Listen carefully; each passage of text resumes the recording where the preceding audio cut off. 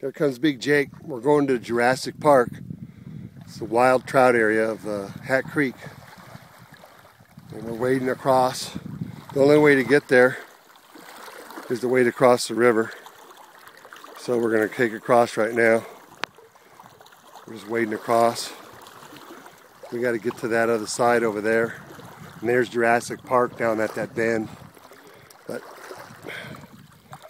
he goes across doing his manly man thing. This is the manly man trip.